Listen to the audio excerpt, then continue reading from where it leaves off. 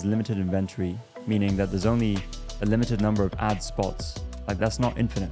The reality is this the brands that just leverage what is working for, for them right now or the Facebook momentum trend that they got for two months.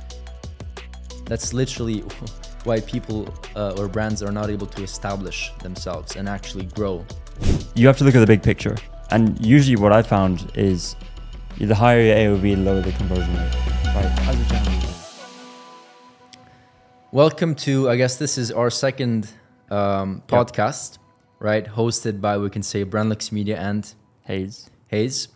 And nothing today, I think, is going to be a super interesting topic because I'm not sure if, you, if you've heard around, but everybody is having a hard time and struggling on Meta.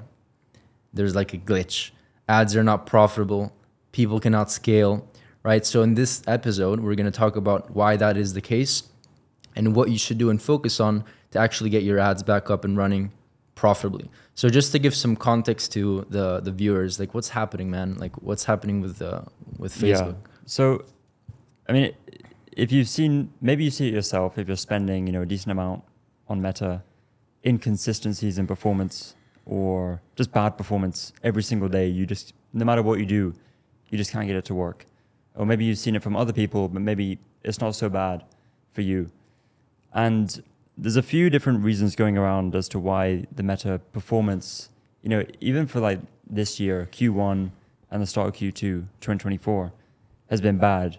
Some people are saying it's, you know, Meta's making a lot of updates to their platform and it's causing a lot of glitches.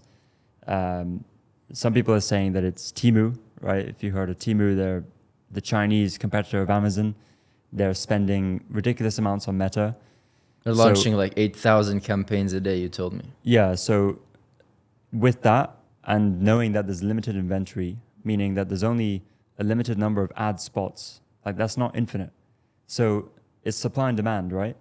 And as you see in Q4, when more people come on the platform and the supply diminishes, then the costs go up, Yeah, right? yeah. So- Q4, it's always almost double more expensive, right? So it's kind of what we're seeing. Uh, some brands are seeing it more than others. Like some brands or CPMS are like amazing, and some other Yeah. ones are just like higher than normal. And then there's other factors. You know, there's if you're in the US, there's a lot of money going into political campaigns because obviously it's election year. So there's a lot of like warm up. I would say every going on. market is different. Like literally, we have some clients that are promoting in Europe completely fine, nothing is Yeah. going on, and then in the US it's more expensive and it, it's kind of a harder thing to manage. I think the US has been hit the most because yeah, we're also seeing in Australia that it's not really an issue.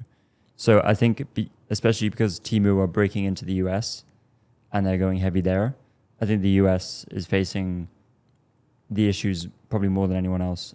At least you know Europe, Australia, like Yeah, tho- those regions. So, yeah, in this episode, I kind of want to touch on like meta performance, right?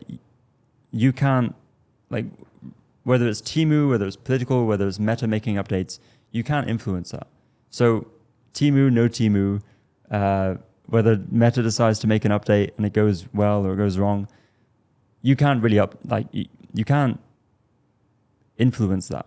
But what you can do is you can position and do things that well maybe you'll find a breakthrough in performance. and look, the reality is this: the brands that just leverage what is working for, for them right now, or the Facebook momentum trend that they got for two months, that's that's literally why people uh, or brands are not able to establish themselves and actually grow and scale right they're out of business after one or two years Yeah. right and it's because they're they're they're actually not building a brand economics right things that actually make sense so in this episode i want to talk about how can we just say you know facebook I don't care about you. I care about building something that is actually sustainable for the long term so that even if you increase my costs by 72% in the next year, I'm still going to be profitable. I'm still going to kill it. I'm still going to be the entire competition in the market, right? Because at the end of the day, as we also said in, in the first podcast that we did, the brands that win are the brands that are able to sustain the highest cost per acquisitions and still be extremely profitable. Yeah. because of their infrastructure, uh, the infrastructure that they've built so far, right? Exactly. Yeah, you're spot on. And you don't want to you don't want to just be a company that sells products, right? You want to be a brand, and you you want to start to build that. And past episode as well, we spoke about communities and how that can also help build the brand and this asset that you have that you can use for that revenue. So, I guess where do you want to start? Do you want to start on like business economics? I think it's really important to start there and make sure that that is good in the first place Yeah. or if it's not good now to fix it before we get into like offer structures and how you can test different things uh, you know today Yeah, let's talk about that. yeah Let's talk about business economics.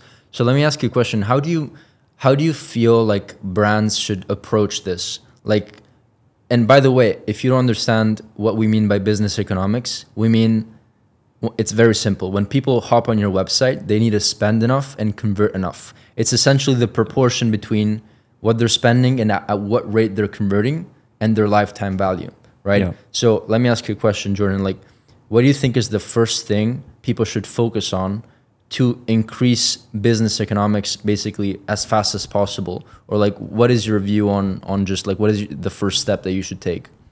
yeah i mean i would focus on margin like product margin especially if you're running paid ads right because if if your margins aren't good enough on the product then it's it's very very difficult to acquire customers profitably especially as your ad costs are rising now you could argue the fact that yeah our margins aren't good on the front end but we have a really good retention and ltv model. And if that's the case and that's proven and you can acquire customers at break even but you have a you know three month like a, a really good like payback period where you can recover that in profit then fine. And and that's actually probably a good thing because you you can acquire customers better than your competition because they probably don't have that subscription model or Yeah. that retention model. But for most businesses they don't right so i think you really need to focus on that first order profitability so when you're acquiring a customer are you profitable in that first purchase and in order to do that you need a good margin Yeah. now that is very much dependent on the product that you're selling and your your suppliers and where you're based in the world. Maybe you can provide some more. Yeah, uh, so that is that is a challenge. Honestly, all the just transparently speaking, like most of the clients that we're able to scale have at least fifty percent margin, like at least, because nowadays it's it's hard to get like a a four x ROAS at a hundred thousand dollars, two hundred thousand dollars, three hundred thousand dollars in spend, right? Like that's I think if you're even getting that, it means that you're not you're not spending enough, Yeah. right? So I think you should you, you should always optimize for margin. I, I'm not sure why, but a lot of um, business owners or brand owners are like, yeah, I mean, I found this supplier, it's fine, I got 40% margin, and they think that's enough. But if you're running D2C, like if you're maybe just doing retail, even if you're doing retail, it's still they're, they're going to take a huge you're going to take a huge hit when it comes to margins. So at least 50 uh, percent most and the clients that actually have lower than 50% have the subscription model. Yeah. So we have a client that sells a, like a 40 50 dollar product. Our cost per acquisition is 50 60 dollars.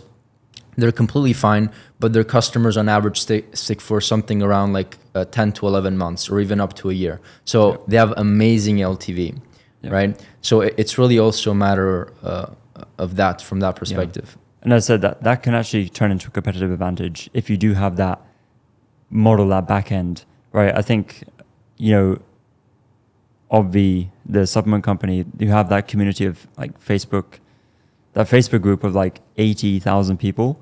They have such a strong retention model that they could, like, they're in the supplement space as well. Like, probably one of the most difficult ones in terms Yeah. of customer acquisition, Yeah. selling collagen, protein. Like, they they've found a way to get good LTV, retention in their customers, both through subscription models, but launching other products and having this community that they can spend more than their competitors on acquiring customers from Meta. So really, really important to think about. But then I would say the next thing is if you have a good product margin, is looking at the AOV to conversion rate kind of Look, the the balance. Let's talk right? about that. I I did a YouTube video in my channel, um, and I was speaking about how to increase average order value, how to increase conversion rate, and I went through a case study of a recent client that has a 0.33% conversion rate, but has a $600 average order value. Yeah. And people were not roasting me, but telling me about, oh, it's only 30, 0.33%, 0.4%. Yeah.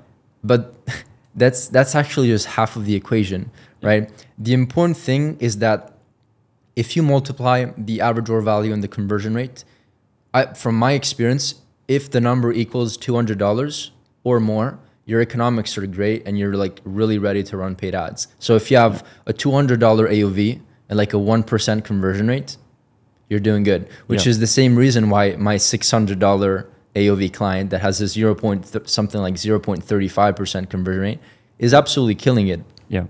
right?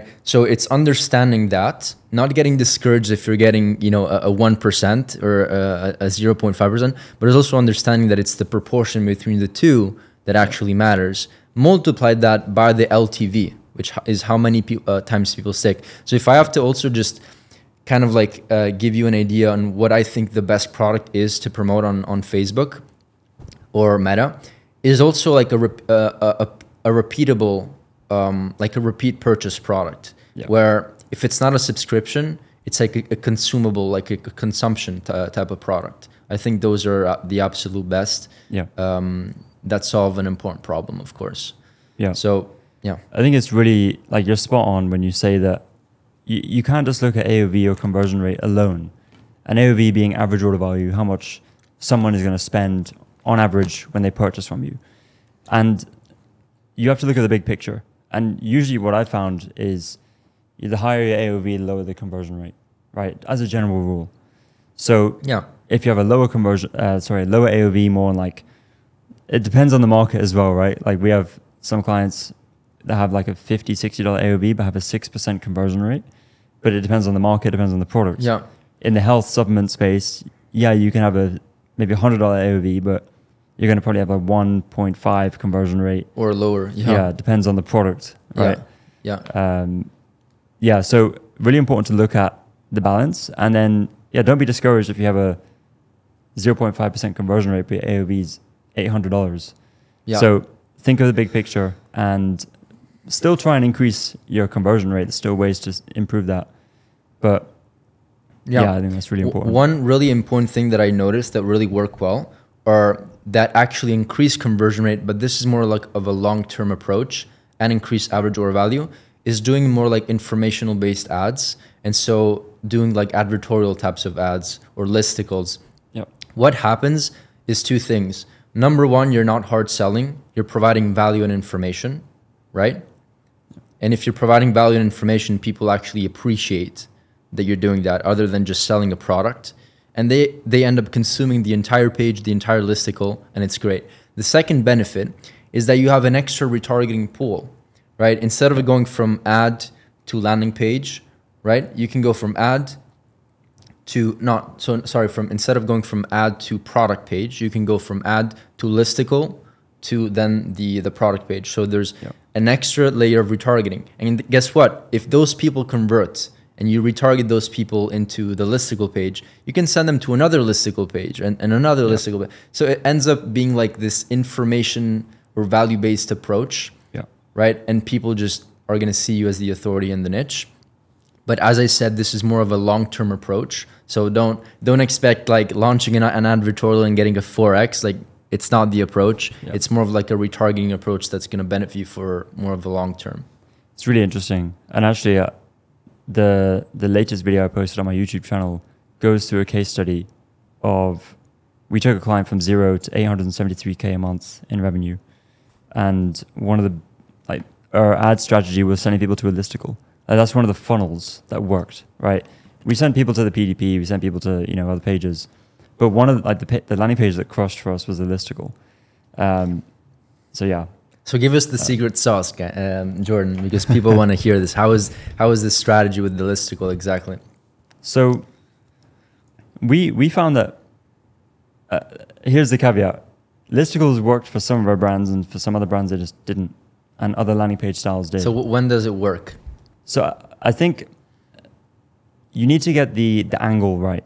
You need to have like your headline is the hook. You think of ad creatives, right? The first three seconds being the hook. It's the same on landing page. You need to rehook the audience, right? Give them a reason to stay. And that's where the headline is, right? You want to be speaking to your target audience and the problem that they have that's going to interest them to read more.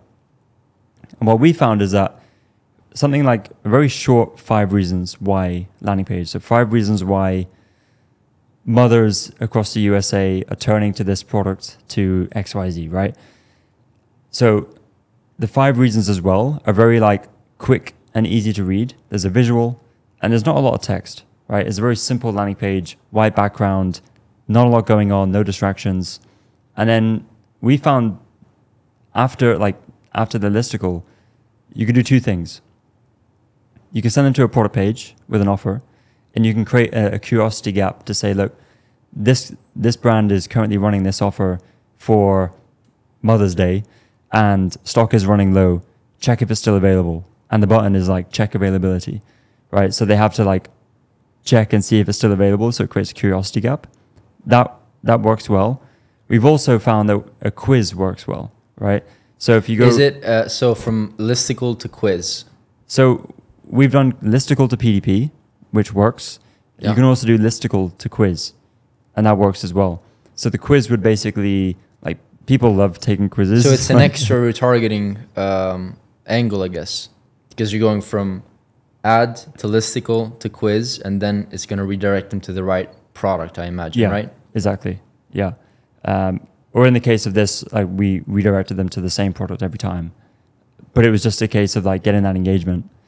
There's another like, I guess, invisible hand that we believe is the reason why some landing pages work well, is because if you get a good session duration on your landing page, it sends a really good signal to Meta, right? Yeah. Because if someone is clicking and having a good experience with you, and a good experience, one measure of that is session duration, how long someone is actually spending in terms of time on your landing page. Meta is saying, oh, like these guys are giving you know our audience a good experience, so we're gonna give you a lower CPM. So quick thing. Now everybody's gonna say is gonna test the landing page. Is gonna uh, sorry the listicle or the advertorial, and then it's not gonna work for them, Yeah. right? And then they're gonna say the listicle doesn't work, right? If you're shit at marketing, anything doesn't work, right? So I'm not saying you are shit at marketing. I'm just saying in general. Yeah. So how do we become good at actually creating offers and and talking about a specific uh, topic, right, in a way that actually persuades people and incentivizes them to actually click and learn more. Because I think that is the secret when it comes to beating the competition and, and saying, you know what, fuck meta, I can do this, I can be profitable. Yeah. It's marketing, I think. In my opinion, in my humble experience, if you are good at marketing, you can beat any, anything in the world, right? There's no such thing as expensive CPA if you're good at marketing, right? So, Yeah. what do you think about that? And how was essentially how did that come into play into your case study? So, one thing I'll say about landing pages as well is that the congruency between ad and landing page is really important. The reason why someone is clicking on your ad, there's a reason there, right? You're touching on their, a problem they're facing, you're speaking to a certain desire that they have, and they want to learn more. If your landing page doesn't talk about that, then you're gonna you're gonna have a, a like it's gonna be a misalignment, right? So it's really important, I think, before you start testing landing pages, to find the angles that are working for you in terms of your creative, in terms of your offer, and then you can like use landing pages to throw gas on the fire, right? So, yeah, that's first first and foremost. You mentioned as well, like good at marketing. Like, I think a lot of this comes down to not just relying on ads as well. Like for this case study, ads were the main driver.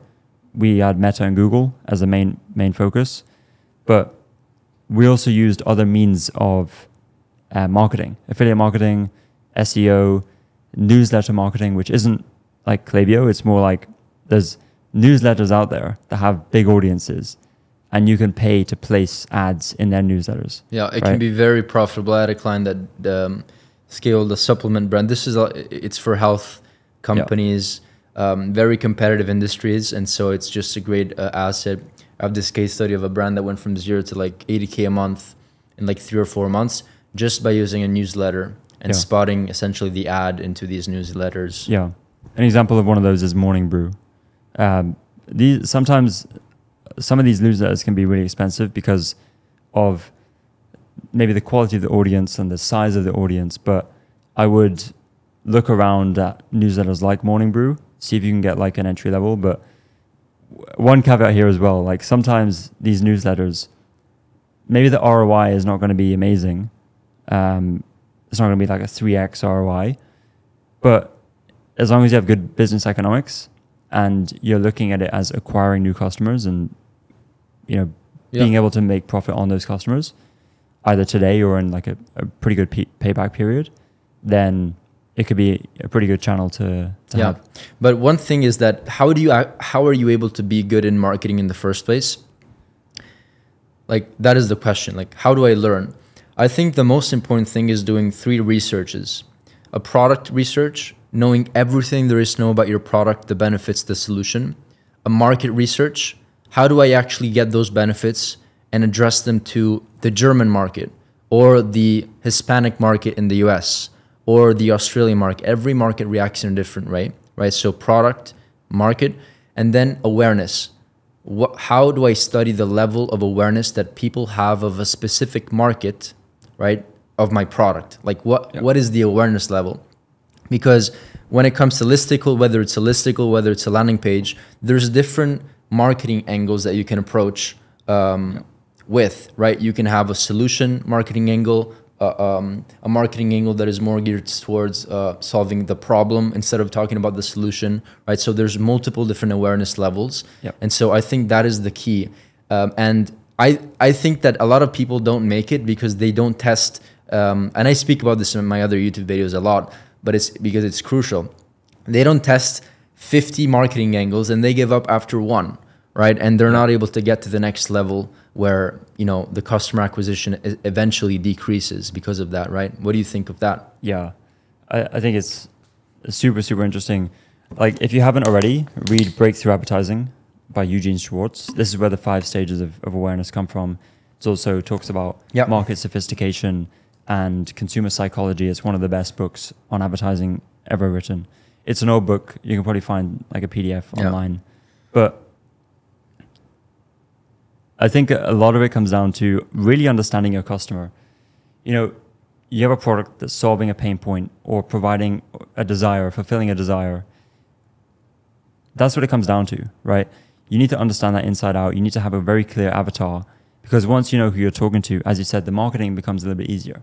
Because now it's just like, okay, we understand who you are, we understand what your problems are, what you've tried that hasn't worked, what your frustrations are with our competitors, what um, desires you have as a human being that you want to be fulfilled.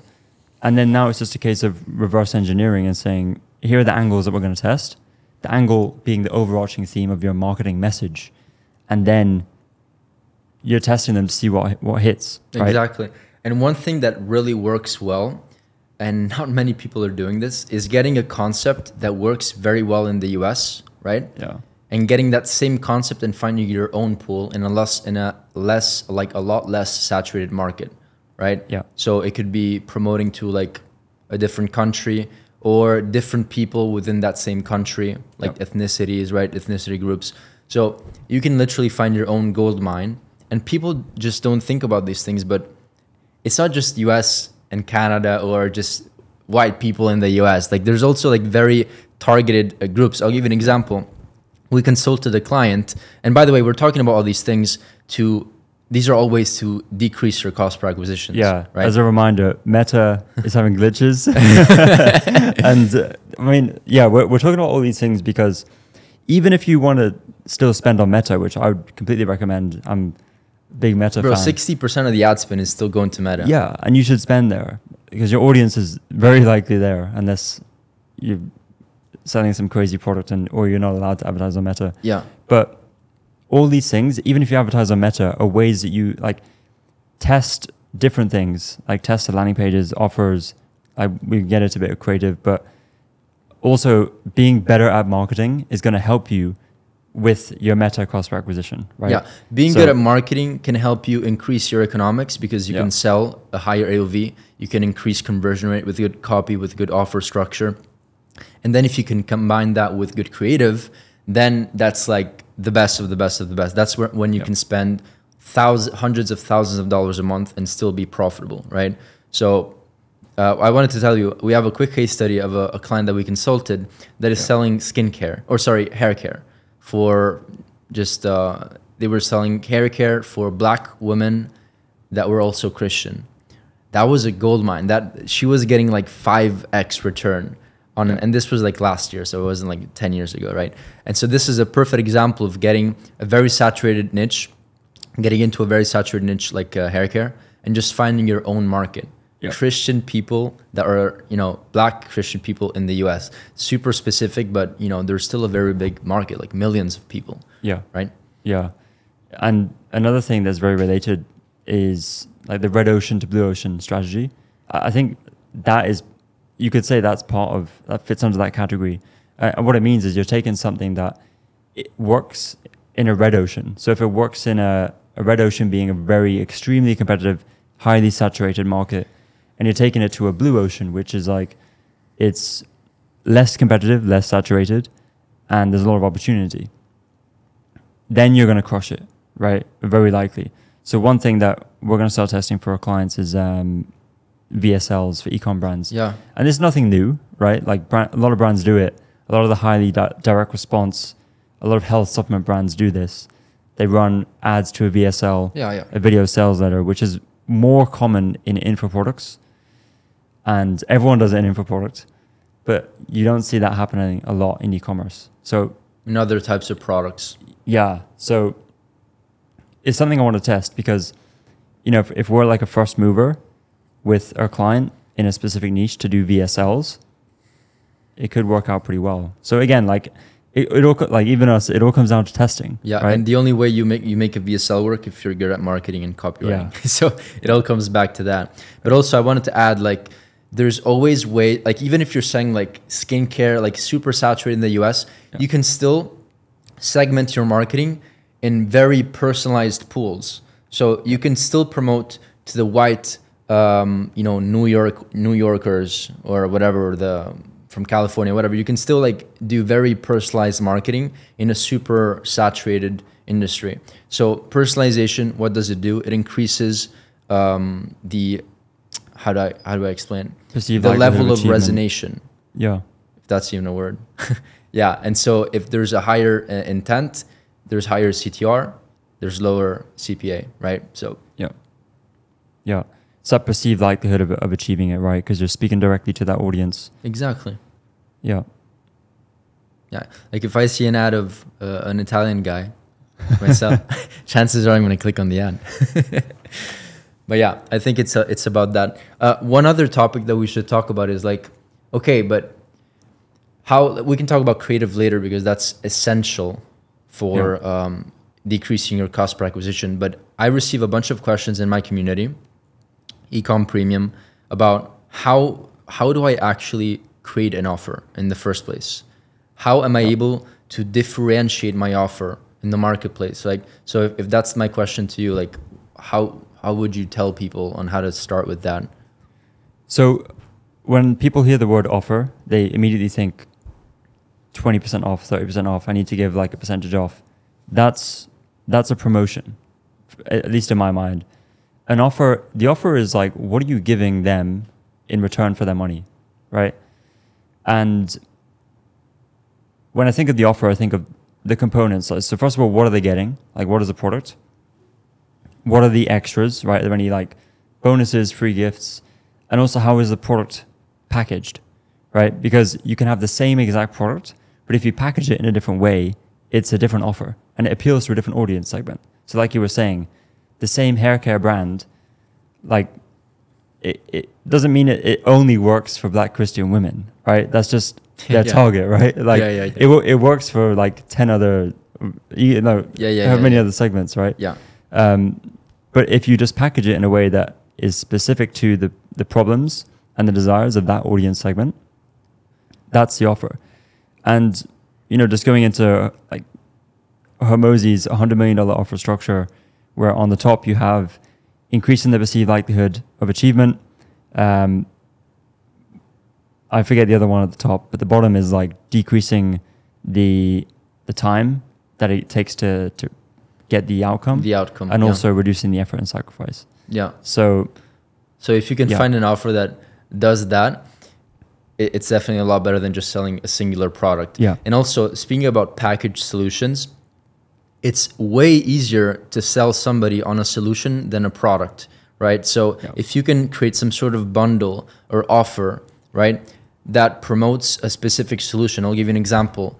Morning skincare kit for XYZ, right? And you can maybe even be like we've tested, we've split tested uh, changing names on the products, and that alone just increases conversion rate if you do it Yep. in, in an accurate way.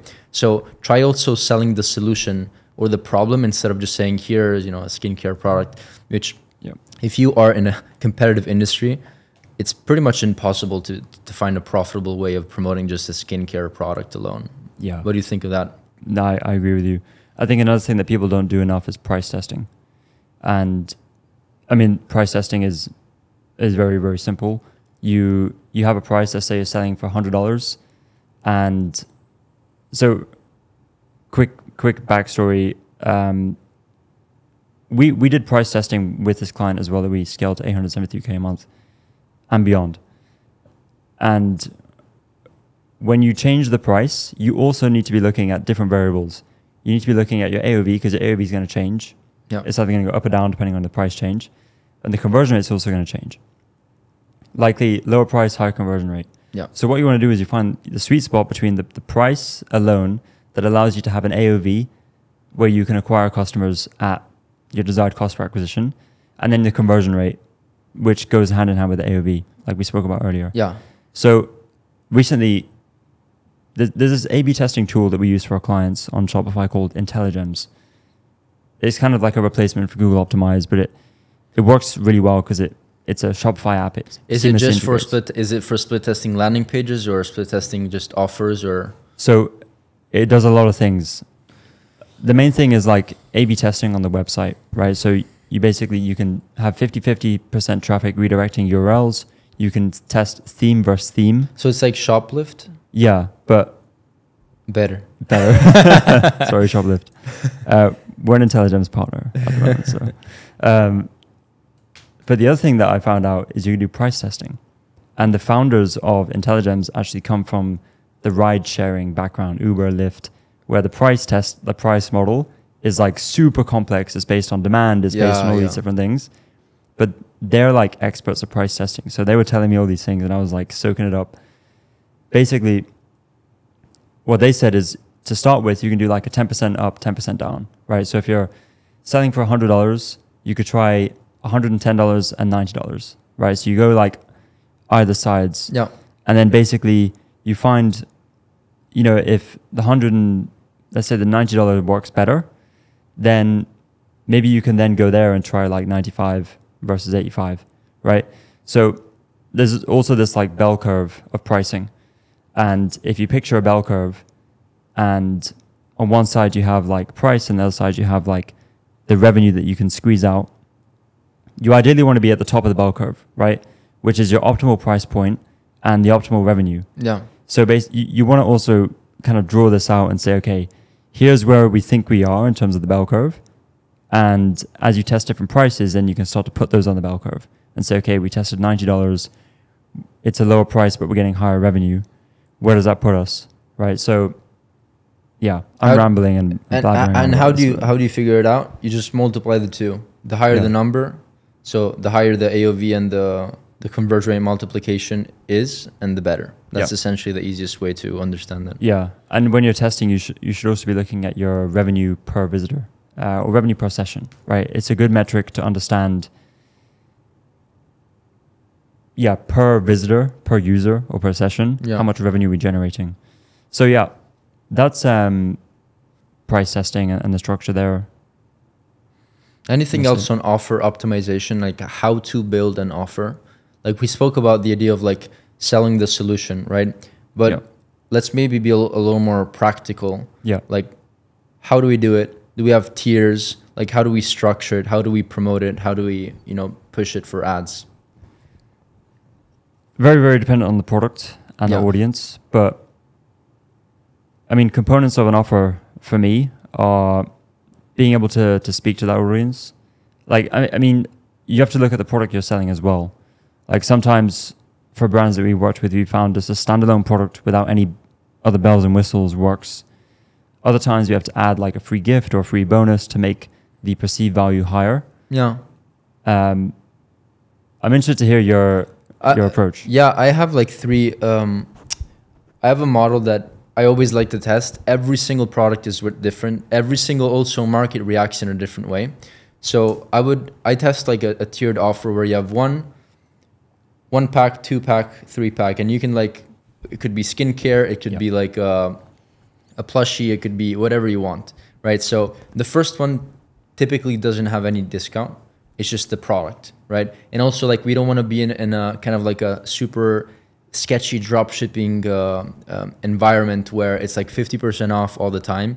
We want to actually make sure that people land into a safe, trusted place, right? So, you know, sure you can do maybe an April uh, restock sale or whatever, but it doesn't make sense if you if you want to build a brand to run that throughout the entire year, right? So the first tier, one pack, doesn't have any offer. The second tier typically has um, a small discount for first time buyers, and you specifically state that it's for first time buyers. And what I would also do is like I would put this into a landing page so that your current customers cannot see it, right? Because your current customers are not first time buyers, right?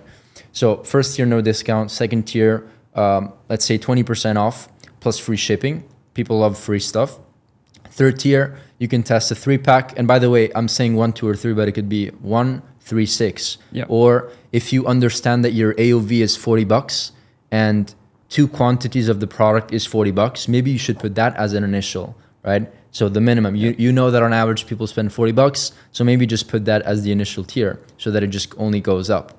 If you, Yeah. you understand my point? Yeah. So the third tier is that you can do like a three pack, six, 12, whatever it is, plus the um, a 30% discount, whatever you can do for first time buyers, plus free shipping, plus a free uh, additional product. Yeah. But that free product needs to be the golden product that people, you know, people actually want. So look at your inventory, look at what's going on. And if you see that this product has like, you know, an amazing repurchase rate or whatever, and it has good margin for you and doesn't cost you a lot, then that's maybe a, a perfect add-on Yeah. that will push people to that offer structure, like I think it's the, the buy more, save more, or the quantity break. Like it's called different things, but that offer works extremely well for consumable products.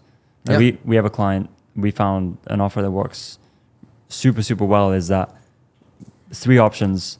The first one, you buy one, you don't get any savings.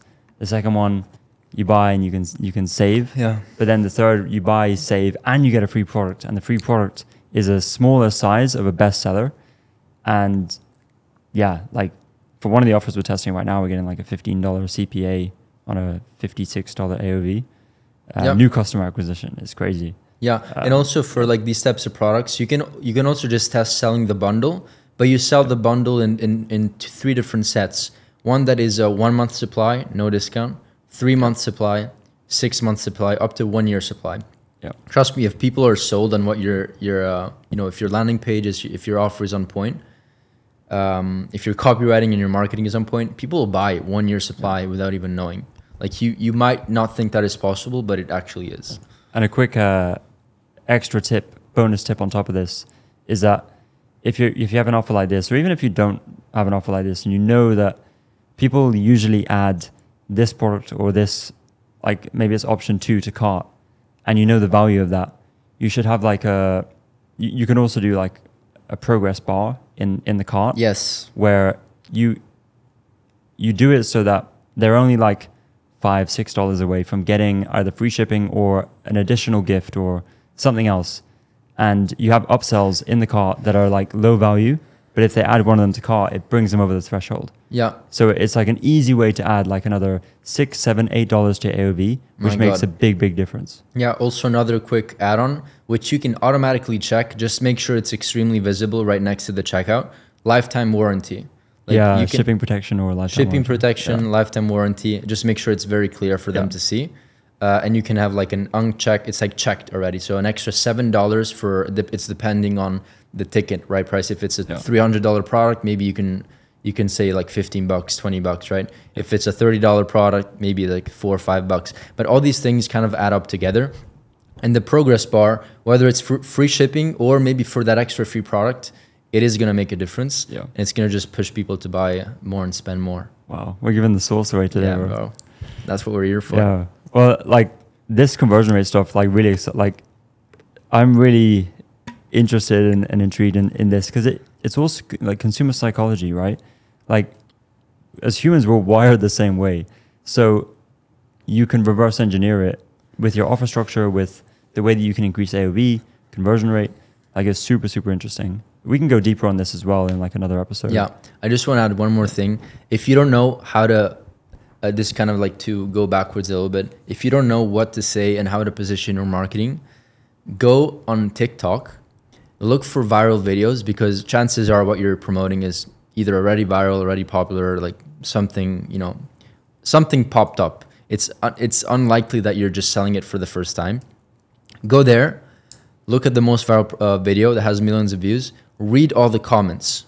Read and study exactly why people are interested, what types of questions they ask, and that is that could be good for your ad copy. It could be good for your landing page. It could be good for your the title of your advertorial. These are all golden nuggets. Also, study what Amazon is doing. They're doing Yeah. billions of dollars Yeah. every quarter, right? So look at exactly, and it's like very cliche to say, but all these like smart uh, conversion rate optimization uh, tactics that we're Yeah. talking about is literally what Amazon does. Amazon might not be the the the beautiful website, but it has all of these crazy conversion mechanism. Yeah. It's very easy to check out. It's very easy to add on other products. Like the experience is like, it's amazing. Yeah, they play a lot on urgency and scarcity. You think of the, the offer equation, right? Like they they work a lot on the bottom, right? Hormozi says get the bottom to zero. So that's getting them like solving the problem fast. Same day shipping. same day shipping. Like get you it in can two up, hours. upsell. You can have them pay Yeah. for that. So no, next to twenty bucks if you want it sh- by tomorrow. Yeah, like we have a client that does like rush shipping. So it's like free standard shipping. And this is very common, right? Free standard shipping, but you pay X amount for express. But you can have like another tier that's Express. like yeah, prime. but like, hey, even if it's really expensive for you, just charge. Even if you charge them what they are paying you, maybe it increases uh, conversion rate or you know checkout to Yeah. To purchase rate even more, and it's still a win for you, right? Yeah. Yeah. But yeah, study Amazon because they're, I mean, not everyone can get like same day shipping, right? It depends on the product, depends on where you are in the world. And yeah, depending on, on what you're charging for it, it could be, it's very difficult to give that away for free. Yeah, yeah, yeah, yeah. Um, but other things are like urgency and scarcity. Again, like some brands don't want to do this because they're very brand protective, but other ones are happy to do, you know, some urgency scarcity plays. yeah. I think we covered it for this one. Yeah, I think we're giving away too much sauce at the moment. No, no, it's never too much for for for the fellow followers and subscribers. But um, yeah, I think we're we're done here. Yeah. Let us know in the comments uh, what other topics you want us to discuss. We're looking. The plan here is to maybe do the one no do a new podcast once a week. Yeah, no Uh, promises, but no promises, but that's what we'll we're trying to do here in Dubai. um, and nothing. If you have you have something else to add, yeah, um, I mean, we both have YouTube channels. We both have Skool communities. So feel free to check us out. Uh, Brando Monetti on YouTube. yep. Um, if you're watching this on my channel, obviously, um, you know who I am. Jordan uh, Hayes. Yeah, so our Skool, Skool communities are in the links below. Basically, it's a way for ecom owners and people who want to get into ecom to learn about all these things in more detail. Of course, on these podcast episodes, we can only get, do so much, and it's very like I was trying to show you a bell curve. You know, like you guys probably like, what is this guy doing? But you know, in like in the Skool community, we share a screen, give away resources. we go in depth and, and Exactly. plus there's also other people um, like like yourself that are dealing with the, the same issues. You can ask questions, yeah, ans- answer question either way we're gonna do these podcasts. Let us know in the comments what um, other ideas for topics that and you know the goal for us in these podcasts is to make sure that we provide as much value as possible give you all the answers here for free. That's the whole point of, of youtube. But nothing. With no further ado see Yep. you in the next one Thanks, guys. bye